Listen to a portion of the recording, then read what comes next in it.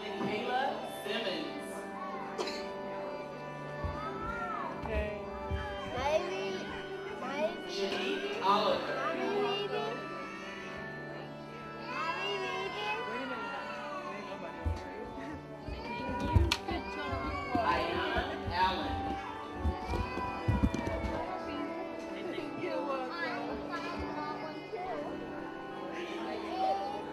Andrew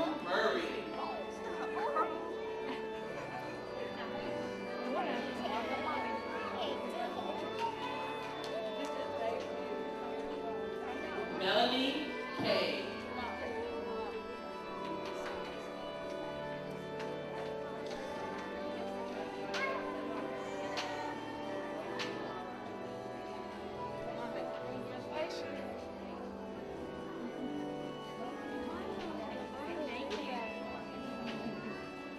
Now proud to announce the 2010